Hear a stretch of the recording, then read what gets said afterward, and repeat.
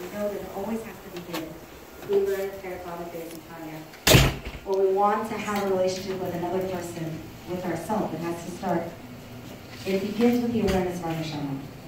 If we can each recognize that each one of us is a perfect, pure gift, is chelik mamish. If we can see that in ourselves really and truly, if we can appreciate that, that we are not a body that